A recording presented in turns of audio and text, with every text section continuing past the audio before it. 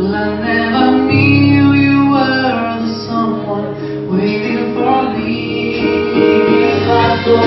me.